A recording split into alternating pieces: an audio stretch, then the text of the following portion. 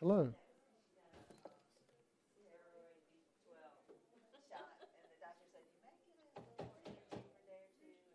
Blah, blah.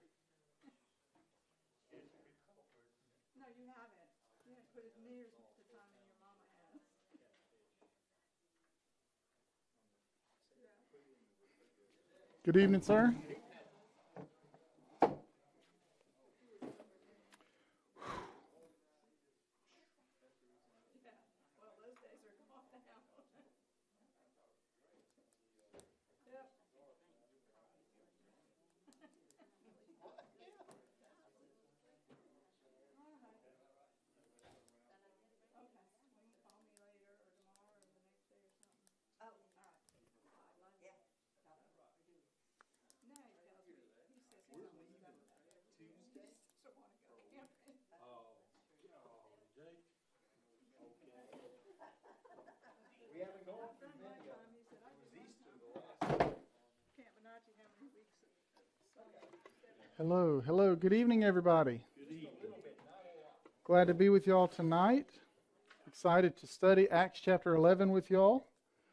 Um, as we get started, what can we be in prayer about? I just talked to Nancy Burton, um, she didn't call about Miss Bonnie Mae, Homer's mama, but she had several places taken off. Doctor's pretty sure at least one was, was a cancer on her legs where she was having a lot of trouble. And is that Nancy or Bert or, or Homer's mom? Okay. I couldn't. Um, she's doing a little better than she was, but they're waiting on results to come back, and she may have to get some radiation, but she's ninety, she's ninety-five or ninety-six or somewhere up there. I think it's ninety-six, but anyway. Thank you. Praise report for Bee Morris, that she's doing, feeling better all the time. Excellent. We have a praise report for B, and we have a prayer for Bonnie May. Bonnie. B-I-N-N-I-E. Thank you, Bonnie, for some spots on her legs that she may have to get some treatment for. Good to know. Okay. The family of Pat Harris.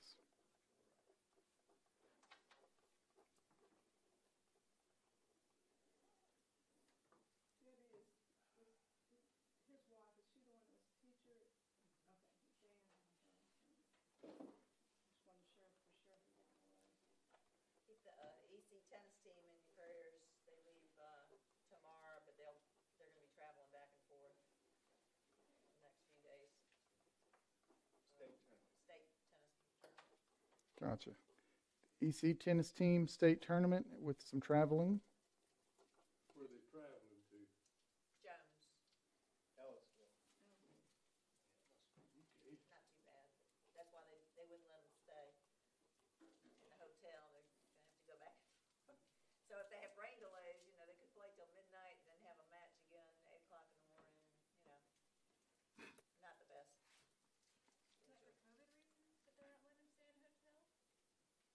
I think it's. Money. Yeah, it's, it's money. Money. It's because it's too close. Okay. It's an hour and a half, what is it, something like that? Yeah.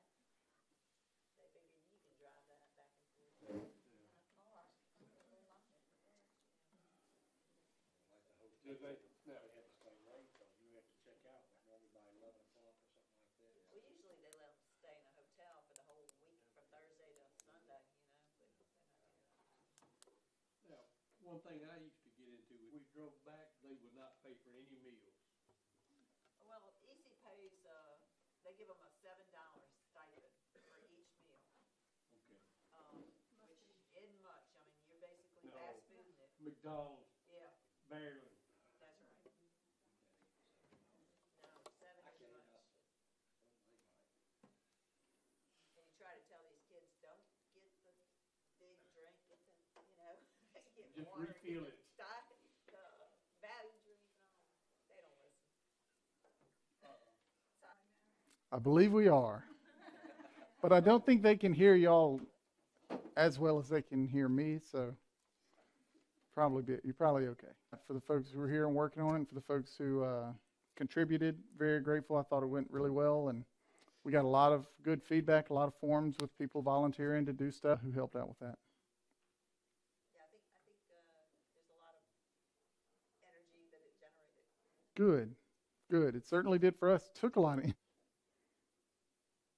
All right. Um, I've been um, asked, I guess, to head up uh, a project. Uh, D. Rinder has a, a room on the back of the house that Bill had bought windows.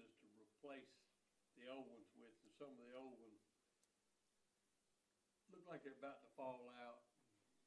And it needs some painting on the outside, needs some pretty good work on it.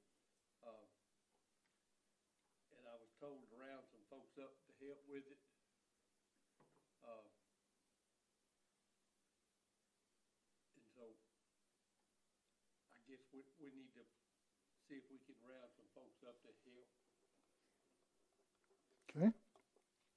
Olin has a project of doing a little um, home maintenance stuff at Dee's house, and he could use some help. So if you hear that, if you're within the sound of my voice, wherever you are, and you would like to do that and, and love and support Dee, just let uh, Olin know. All right. Yeah. Sound good? Okay, I, I've got the, two of the windows, one of the windows I can get to is the storage room. Two more of them are in another storage room that are under lock and key. They're under combination lock and Dee doesn't know the combination. She has to get Parker to unlock it so she, we can get in there and get the windows. I'll speak to these artifacts. Anyway, Well, you, I'll, I'll let some folks know. you already got one. Pat nodding over here, and Larry's nodding over okay. here. All right. I'll pay, you know. Yeah. I'll be- Look at it. There is some pain. Okay. That's great. All right. Anything else? Let's pray. Merciful God, gracious God, we give you thanks for the time that we have tonight to be together in Christian fellowship, to be together to study the scriptures, and to be together to hear from the scripture about who you are and who you have been and who you will be for us as we move forward into whatever future you have for us. We pray for our brothers and sisters who are not here. Um, we especially lift up uh, Vonnie this this evening and the care that she may have to receive um, for her legs. We ask that you would safeguard her heart and mind. We also ask that you would bless over Homer and Nancy and Polly and, and the whole crew um, and strengthen them for the important work that they're doing of loving and caring for each other. We give you thanks for Bee's recovery, and, and we recognize in her, and as we also recognize in Vonnie and so many other ways, that you are a God of healing, a God who brings healing and new life and wholeness. So we give you thanks for that. At the same time, we recognize that there are many who are suffering heartache, and we pray for uh, the family of Pat Harris and for all the other ones that we carry around in our heart who we know are suffering, who we know are grieving. Um, we ask that you would comfort them and be with them and stand beside them in their heartache. Be with the tennis team as they travel back and forth. Keep them safe on the roads and um, help them to play well and for a spirit of sportsmanship to prevail no matter what happens. Um, and just be with us tonight as we study Scripture and bless over us as we are here and bless over those who are joining us online. We ask this in Jesus' name. Amen. Okay, so we had Acts 10. We had a two week break or one week break or however long it was. Then last week, Sarah Joe came back and we did some recap on Acts 10. And so tonight we carry on with Acts 11, the tail end of Acts 11. I mean, the front of Acts 11, which is the tail end of our story from Acts 10. It's a lot of the same stuff we've been talking about. We're just going to keep on going after it. So, but I want us to start tonight with a question.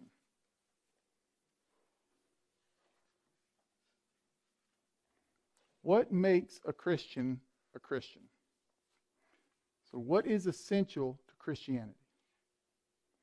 To give you an example of what I'm talking about, could we all agree that it is not your hairstyle? Christians can have whatever kind of hairstyle they want to have. Good luck. Uh, Your luck? I said, you are in luck. Oh, yeah, I'm in luck. That's for sure. That's very true. That's very true.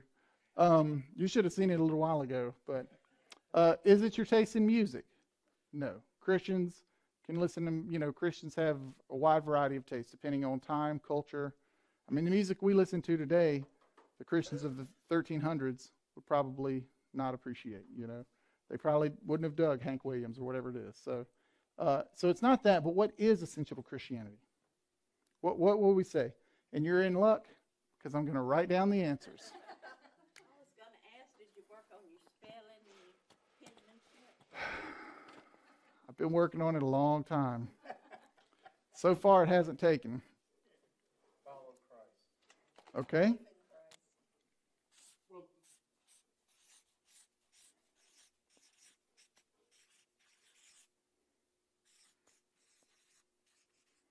Okay. And then you said faith in.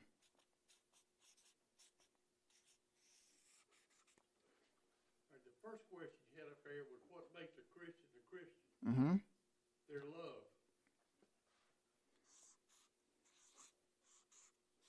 Anything else you want to say? Love for, love, just love. Their, you know, their love for the fellow man. Their love for, for God. love God first. And then it's hard to write sideways is my problem. Step right in front of it, right? but then you can't see. I don't want to. Okay. So I had these. I'm really trying to articulate the same thing, but if you want to break them into two different questions, that's totally fine too. So far, following Jesus or faith in Jesus, love for God, love for neighbor. Okay? Anybody else?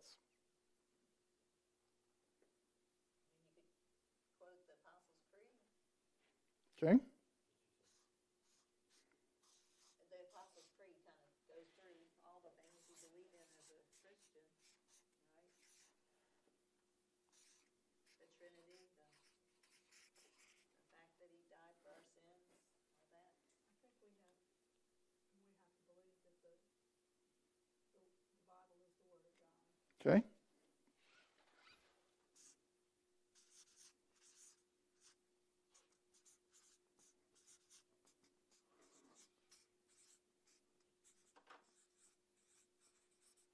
I put Bible as word, but I think we know what that means.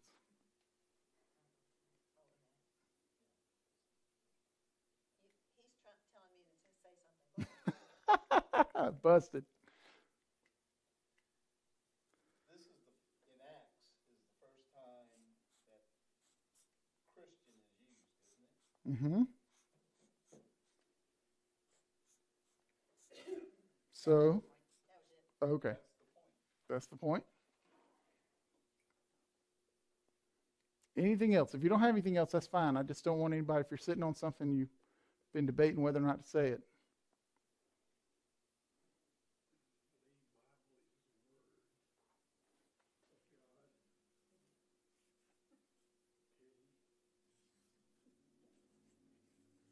Okay. In other words, Second Timothy three fifteen, all scripture is inspired by God.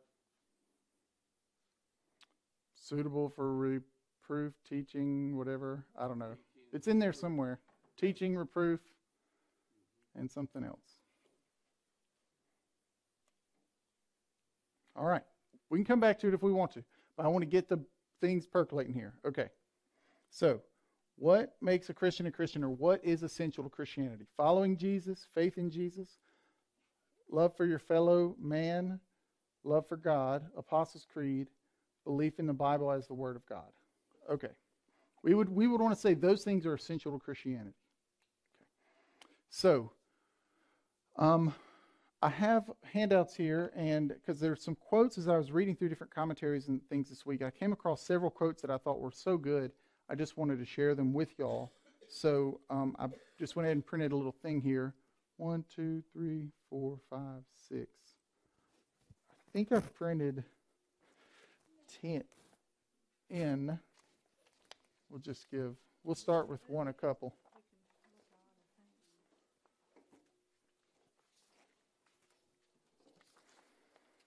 And our folks online, I, I believe Sarah Joe's going to work these quotes into our.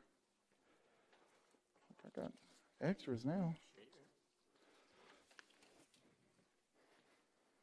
Maybe I did print enough. I don't know. Okay. So, Peter, if we open our Bibles to Acts chapter 11, verse 1, Peter gets back to his folks in Jerusalem.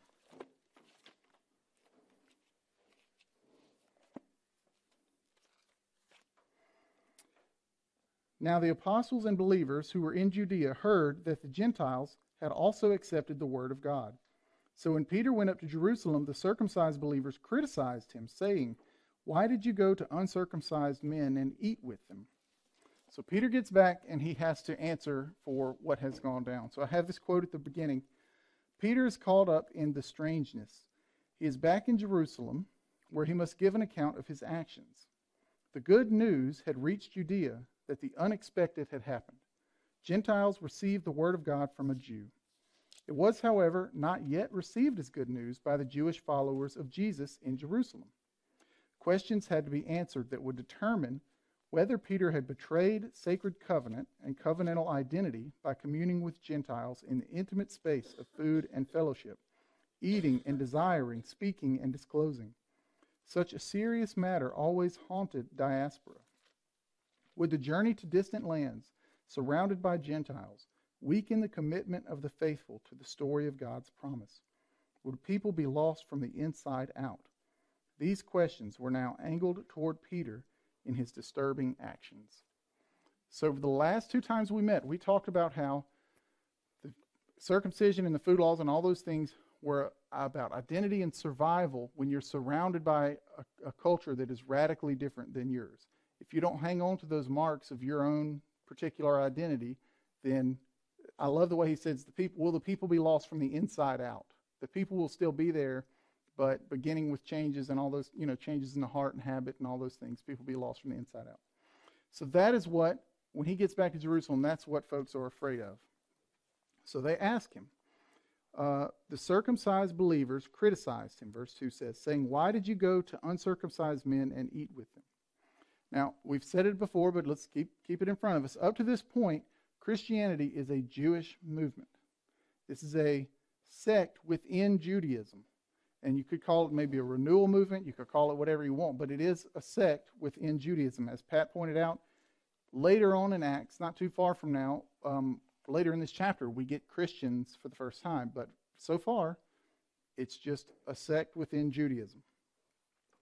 Um, so the, the people who believe that Jesus was the long awaited Jewish Messiah are Jewish. Um, in Acts, we have seen this belief, belief in Jesus, but now it's finally breaking out of Jerusalem and, and Judaism into the larger world. Know that they are part of a worldwide religion yet. They think they're just Jewish. And some of the foundational identity markers of Judaism are circumcision, and the food laws. They don't know that they are a part of this worldwide movement that's going to incorporate everybody. They think they're Jewish. They're just they just have a disagreement of who Jesus is, but they're basically Jewish. Now they find out that Peter has baptized non-Jewish people into this religion, and he has some explaining to do. Now here we meet some new characters who are very important. Uh, the circumcised believers. The circumcised believers. this is a quote from N.T. Wright this is clearly a hardline group within the Jerusalem believers, a smaller pressure group within the larger but still Jewish group of believers. These are folks within the Jesus movement who feel very strongly that anyone who would enter the new Jesus movement must become Jewish, which would mean circumcision for men. So we've got to think you have Jewish people who live in Jerusalem and the surrounding area, which is the heart of Judaism. But because of Babylonian exile, Assyrian exile, and a variety of other things, all across the world you have pockets of Persia and surrounded by Gentiles, right? Now, inevitably, just like with just like there's how many people in here? 16 people, something like that.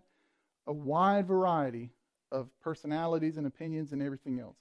And you could find Jewish people who, if you ask them about Gentiles, they would say, you know, the Gentiles aren't that bad, honestly. I mean, my neighbor Steve, he's a nice enough guy. He takes care of his yard and, you know, whatever else.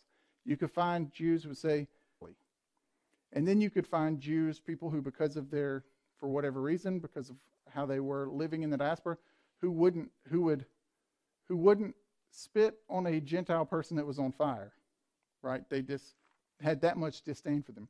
Now these people all come into the Jesus movement.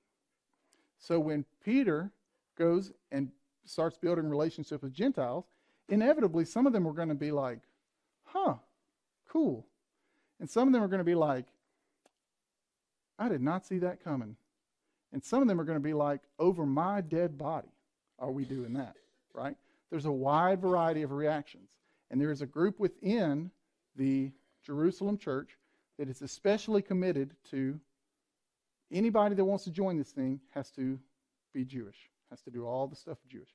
So the circumcised believers is not the believers. It's not the same thing as like just the believers. It's, it's, it's a it's a, uh small faction, uh, what we might today call a caucus, a special interest group, whatever you want to call it. This is a group within that has an agenda that they feel like needs to get pushed.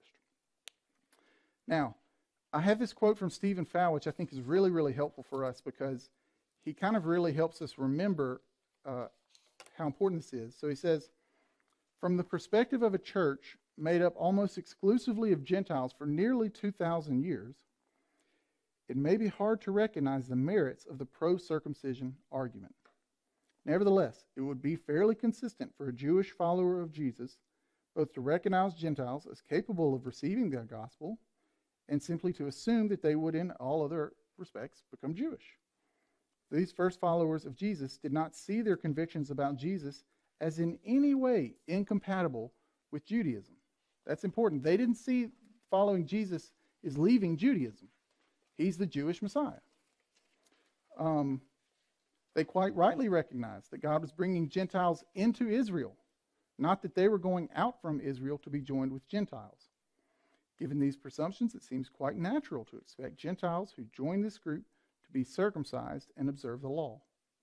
While there are few exceptional cases, the vast majority of Jews would have simply presumed that joining Israel implied circumcision, and that they had numerous good reasons for thinking this.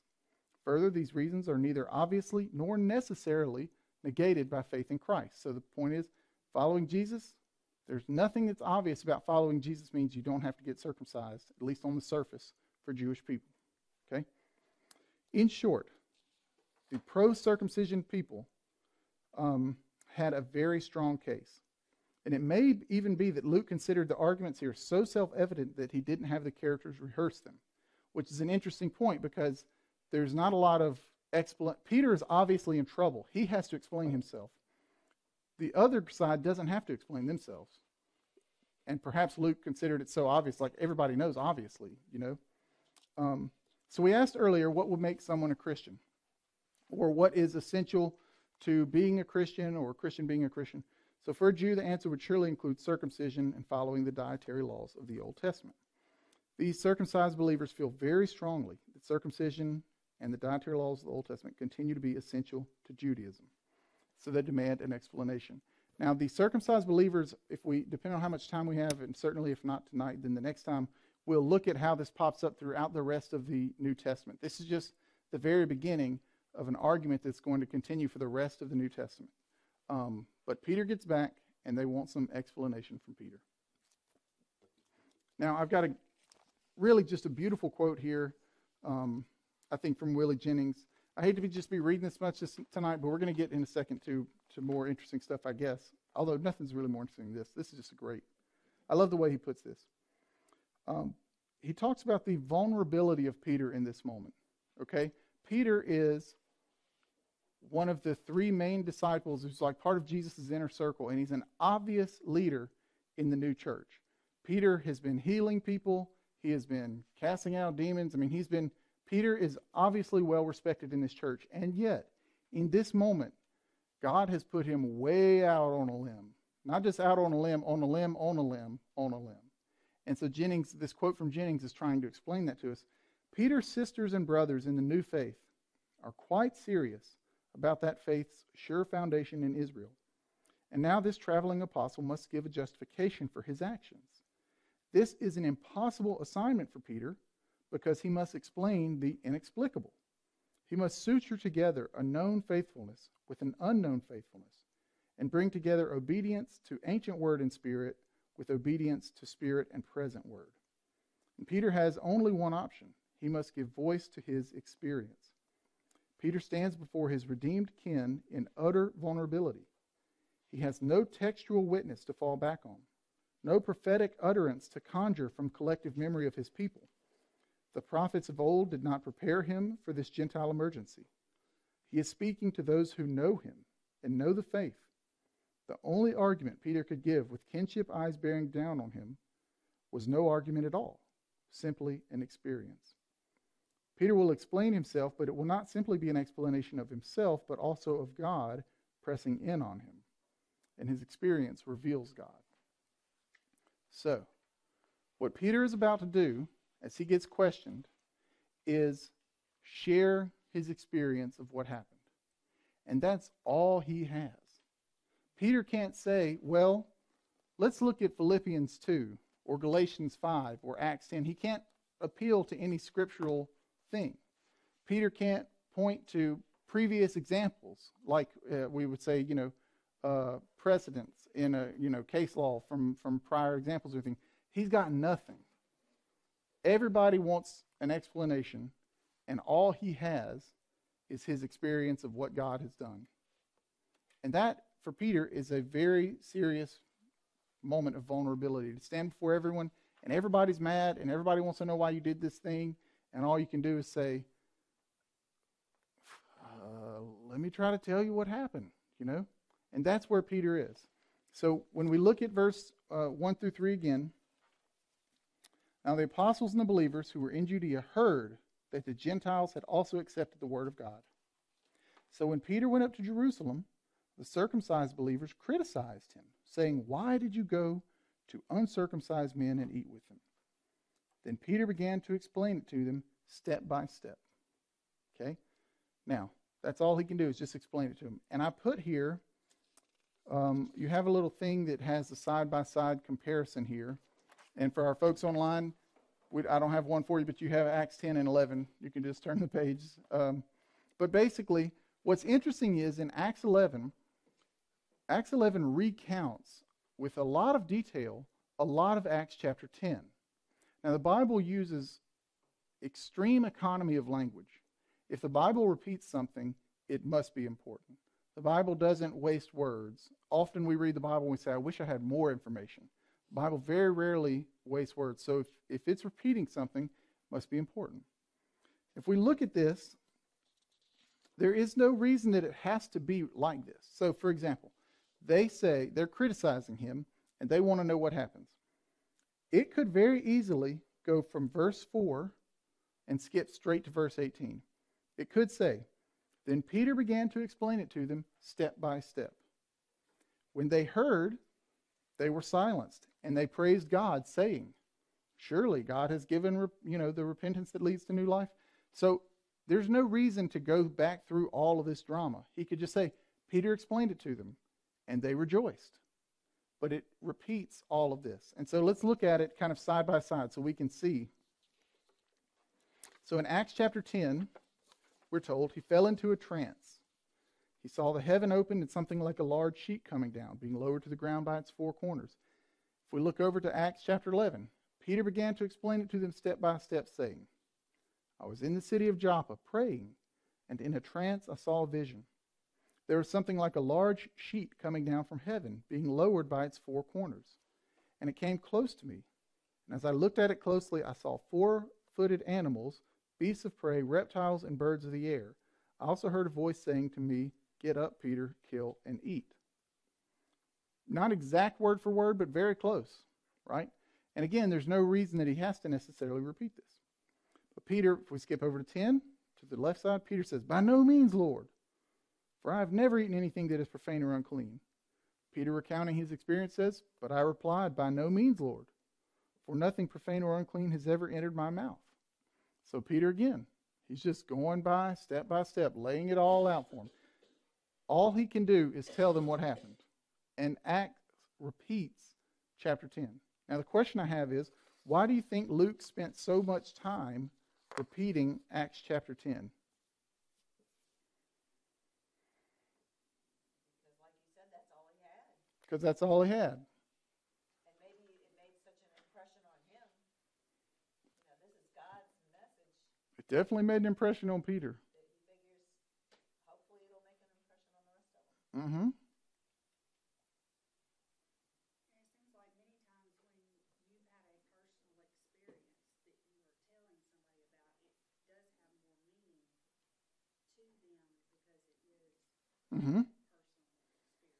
Okay, so a lot. So it obviously had a big impact on Peter, and then Annette also has a lot of times when other people hear your personal experience, it has more meaning to them because it's your personal experience. hmm Okay, so obviously, um, Luke repeats this in part just to emphasize it, just like we heard. Like, this is a critical moment in the book of Acts and in the New Testament. And so Luke slows us down and, and repeats it, right? Another thing that I think is going on here is do you remember to whenever I did Acts chapter 10 several weeks ago now, I sent you home with Acts 10 through 15 and I asked you to circle and think about all the places where God did something.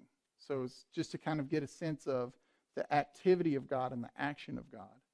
I think Luke repeats this to help reiterate that this is something that God did and not something that Peter did. So if we look at Acts chapter 11, we can just do this again pretty quickly by ourselves here. If we look at Acts chapter 11, uh, let's look at that first little chunk, 5 to 7. Where, where is God doing something here?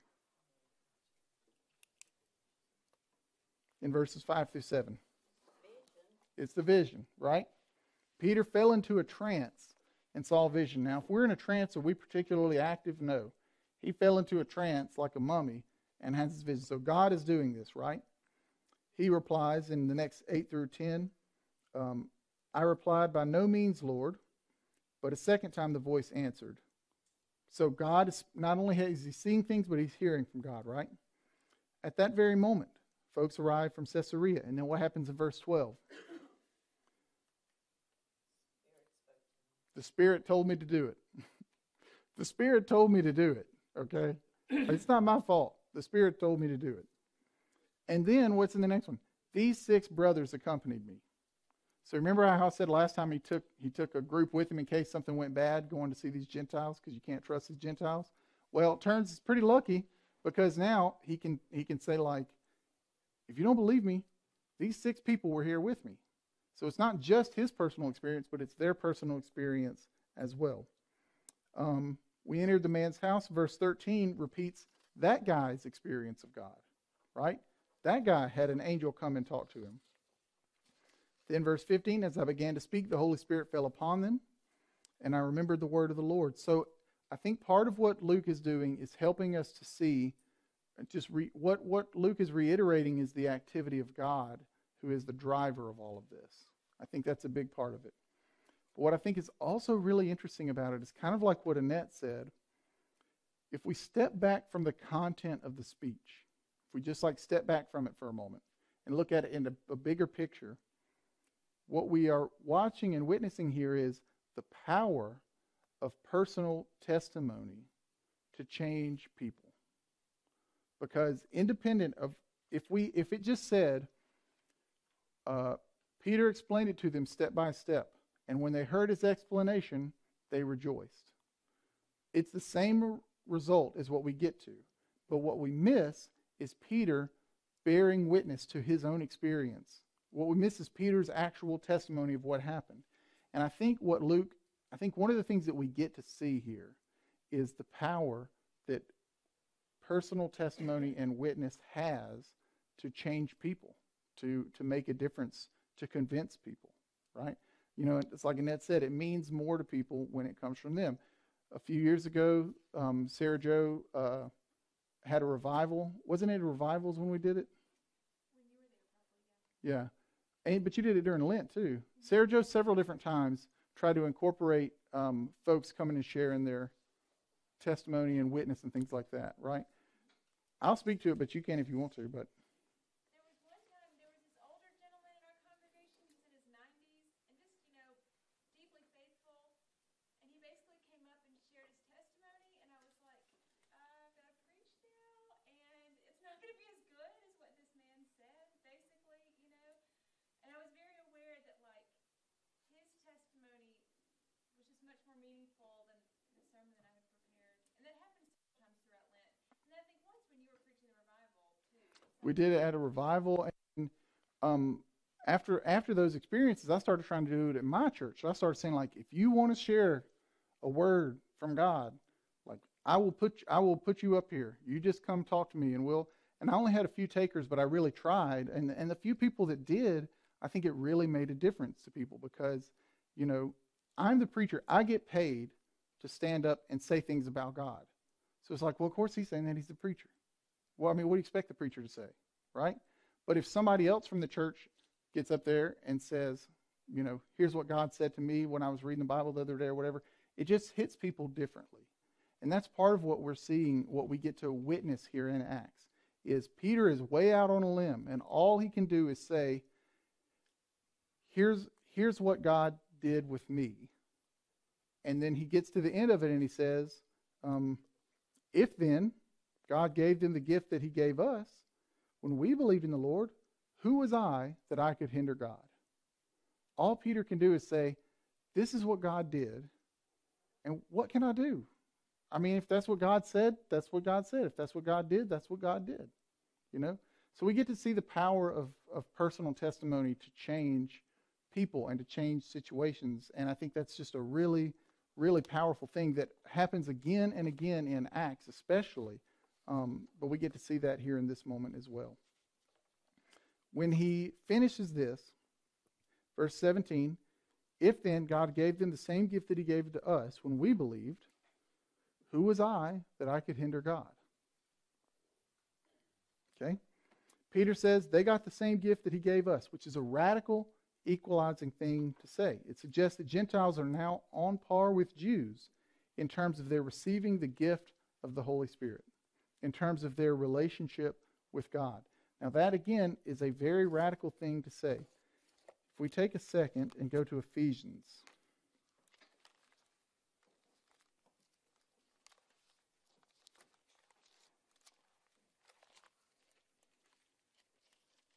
Ephesians chapter 2, verse 11.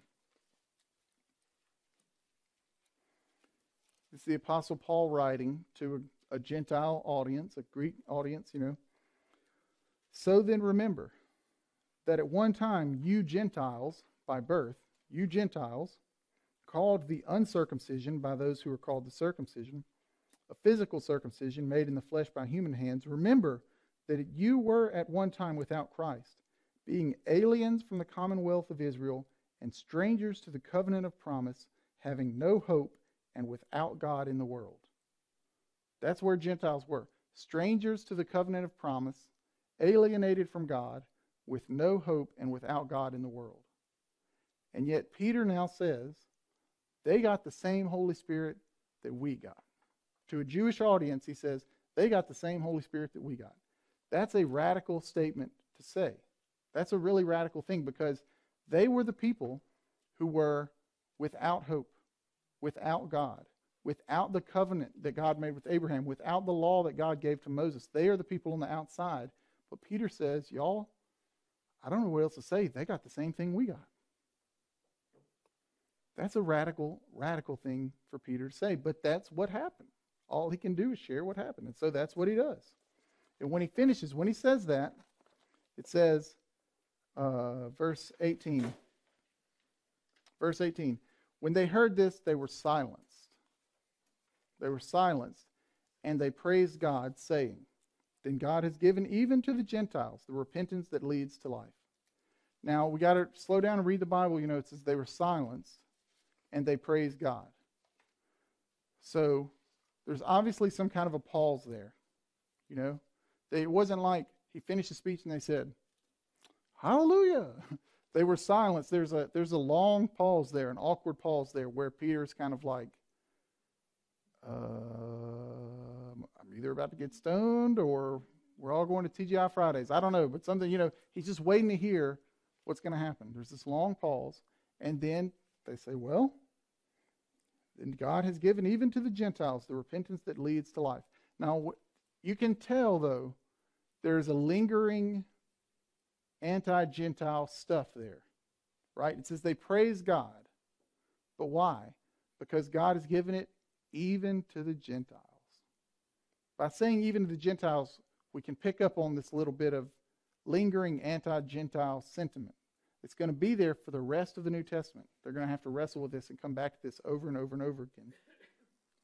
Um, and let's see. So, I, have a question here. How did the early apostles know that this new thing was God's doing? Or put differently, why did they accept Peter's explanation?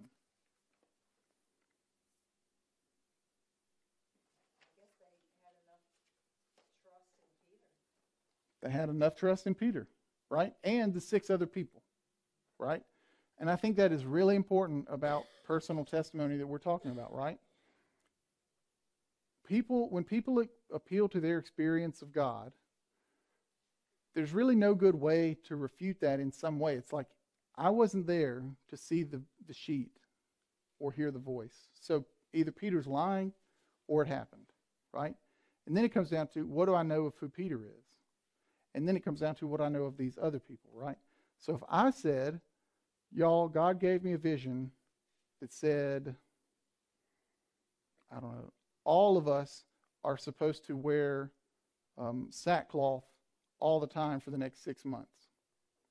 You probably say, Well, Jake, I think you need to pray on that one, you know?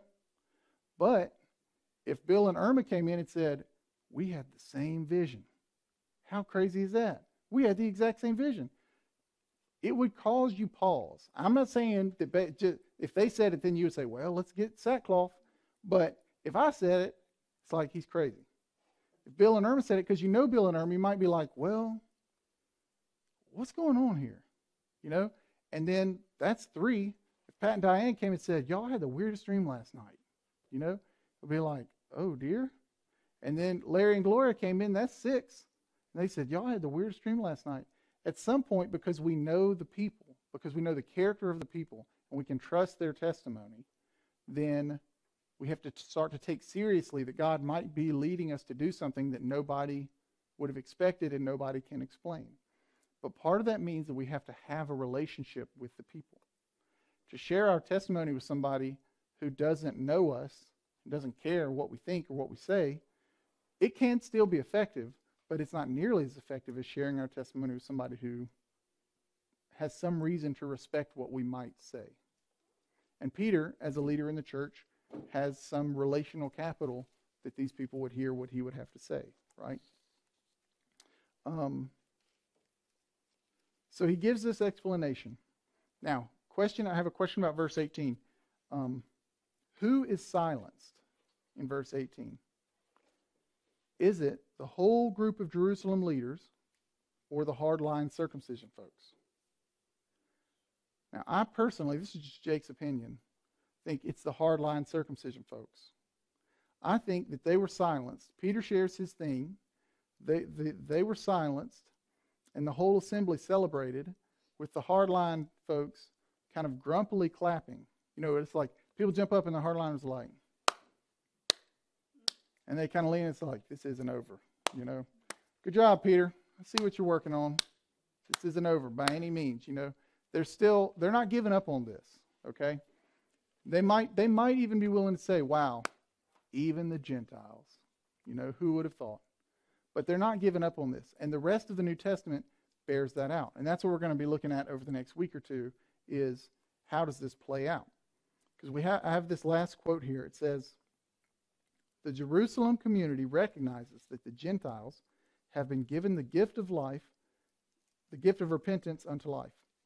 But the issue of their relationship has not been solved the um, I don't know. That quote is wrong. I don't know. I must have deleted a part of the quote. Basically, the what the quote should say is, um, the issue of how they're going to be in relationship has not been solved. Will the Gentiles be brought into this thing as Gentiles, or will they have to change? And how much will they have to change? And that is what the rest of the New Testament argument is going to be about that we're going to see. Is it's kind of like at this point, nobody can deny that God has reached out to the Gentiles. Who would have thought it? But surely God doesn't intend for them to stay Gentiles, right? surely God doesn't intend for them to stay Gentiles. We, that, that can't be right. So, which leads us back to our thing. What is essential for following Jesus? What is essential? And I have a question there at the bottom of the page. I think it's on y'all's too. Can you believe in two religions at the same time? So I have here, uh, this is from um, Dungeons and Dragons. Okay? Anybody familiar with Dungeons and Dragons? A game that people, okay. It's a game that was very popular in the 80s and it's coming back into popularity lately, where it's basically an imagination game. You create little characters and you come up with scenarios and you roll these dice to determine, like, it's like Jake and Olin getting a sword fight, and then we roll dice, and if he rolls a 12 and I roll a 9, it's like Olin killed Jake, and then they move on with life. Okay. But in the imaginary thing, there's all these different pantheons of gods and goddesses and religions. There's like fake religions in the game. Okay? So I've, I've got some of these here. So this is just a fake religion to use as an example. We have, uh, I don't know what that is, Eldath, the god, goddess of peace. And that looks like grapes in a bowl, maybe. Or Gond, the god of craft. And it's like a sprocket. Is that what that's called? Uh, Helm, the god of protection. So in this imaginary religion, right, if I'm trying to build something, I might make a sacrifice to Gond, the god of craft, and say, like, Gond, please bless over my little building that I'm trying to do, or whatever, you know. Or let's say I've, uh, uh, let's see, I don't know, Helm, God of protection. I'm going to have to travel back and forth to Ellisville seven times this week, right? I'm going to be on these roads a lot. I'm going to pray to God, the Helm, Helm, the God of protection, before I leave, and all these things. Okay, so that's this imaginary religion. Now, can I can I still do all that and be Christian?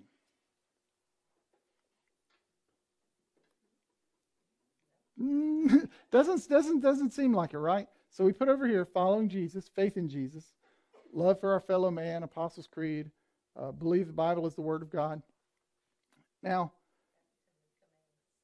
Ten Commandments. Ten Commandments is in the Bible. Yeah.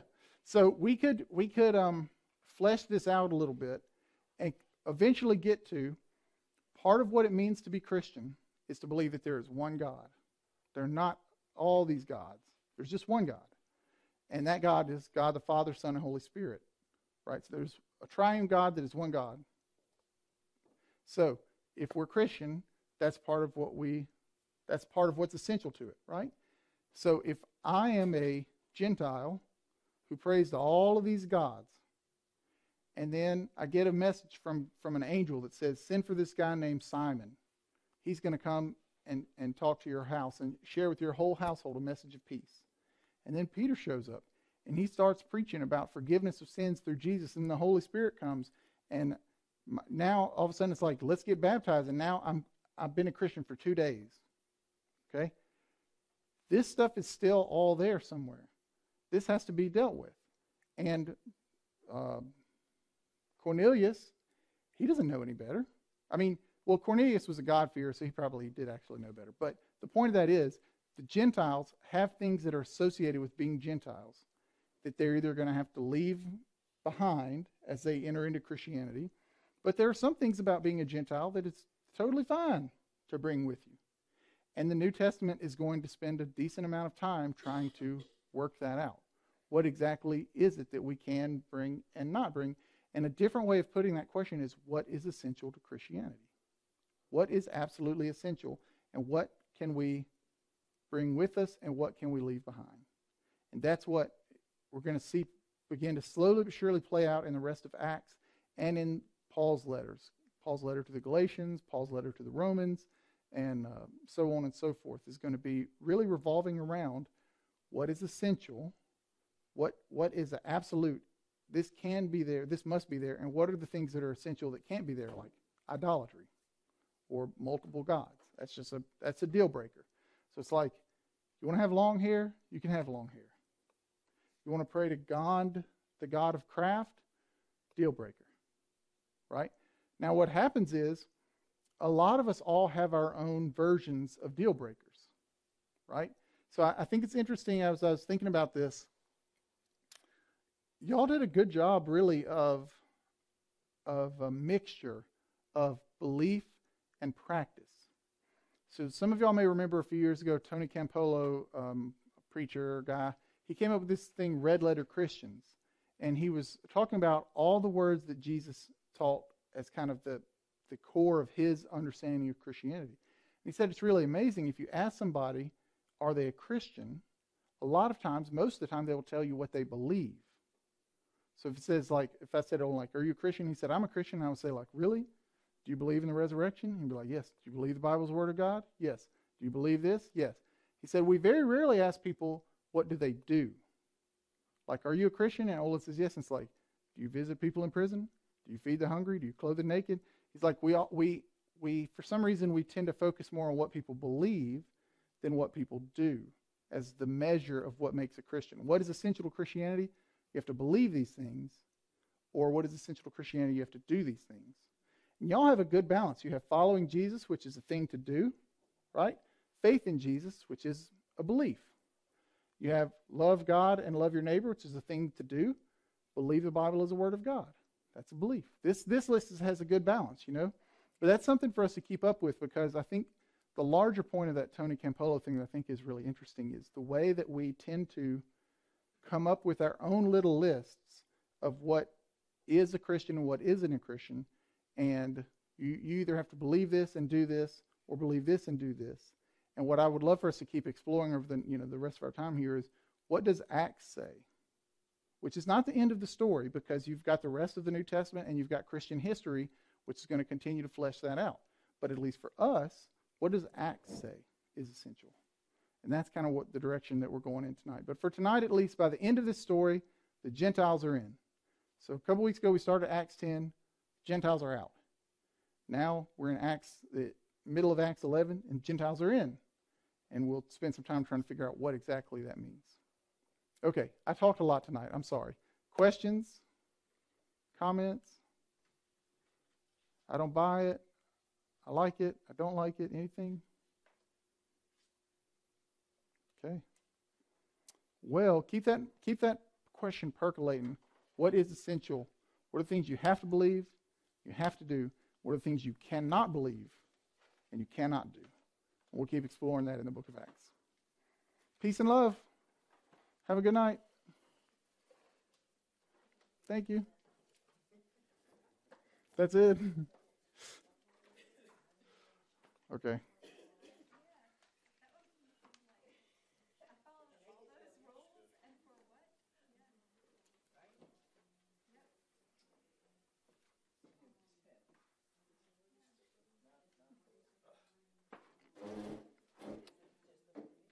But see, that's a very that's a very Gentile and Pauline thing to say.